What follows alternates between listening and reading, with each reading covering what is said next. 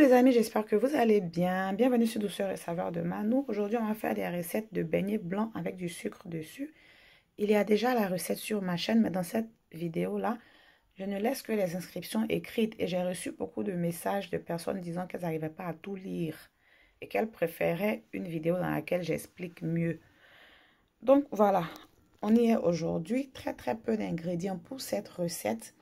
300 g de farine, 300 ml d'eau tiède, la moitié d'une cuillère à soupe de levure sèche boulangère, la moitié d'une cuillère à soupe de sucre et du sel. Le sel, je le rajoute déjà à la farine. Pour la température de l'eau, il ne faut pas que l'eau soit chaude. Il ne faut pas aussi que l'eau soit euh, trop froide. Dans les deux cas, la levure ne prendra pas. Il faudra que l'eau soit tiède. Donc, vous prenez de l'eau chaude, vous rajoutez de l'eau froide et quand vous mettez votre doigt, vous devrez sentir que l'eau est chaude, mais qu'elle ne vous brûle pas du tout.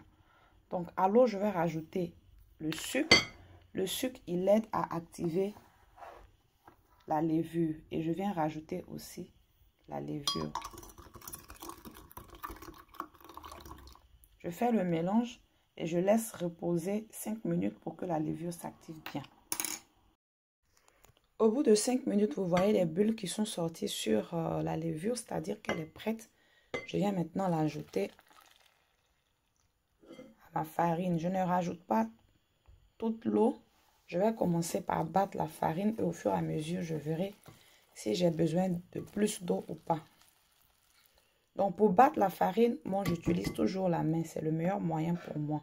Comme ça, on sent la texture de la pâte et on sait si la pâte est prête.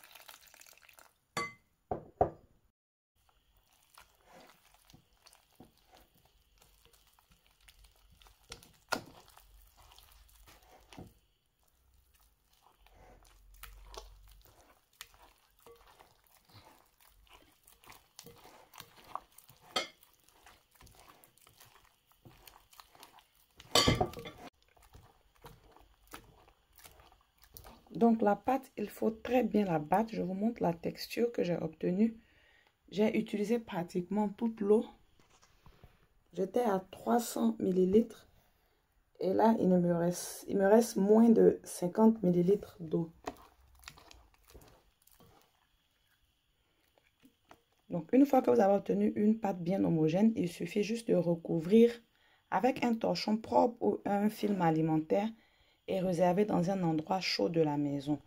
Moi, en ce moment, il fait 12 degrés là où je vis, donc il fait assez froid dans la cuisine.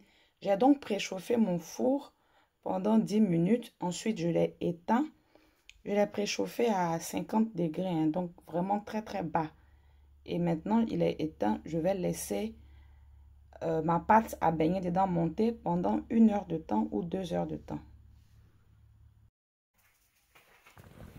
Passé deux heures de temps, je vous montre ma pâte. Vous voyez comment elle a doublé de volume.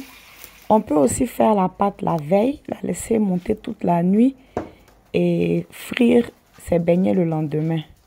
Et en faisant la pâte, on peut aussi rajouter de l'arôme vanille, du zeste de citron, tout autre arôme de son choix pour, euh, pour apporter un meilleur goût au beignet.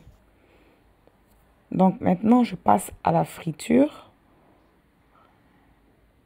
Chacun sa technique pour faire euh, les beignets. Je vous montre la mienne. On peut aussi utiliser une cuillère à glace, mais avec la texture de ces beignets-là, ça serait un peu compliqué avec la cuillère à glace. Donc, il est préférable de le faire à la main comme à l'image.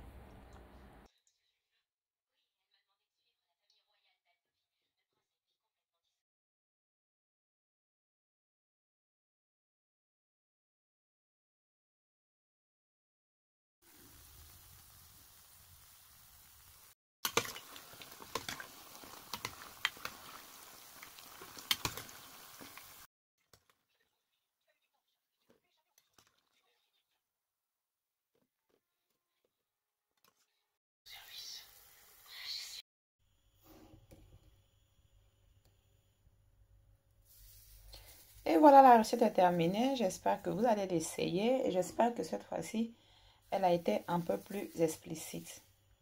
Si vous êtes de passage sur ma chaîne pour la première fois, n'hésitez pas à vous abonner et aussi activer la cloche de notification pour recevoir les alertes quand je poste une nouvelle vidéo. Likez la vidéo et on se retrouve bientôt pour une nouvelle recette ou astuce. Bye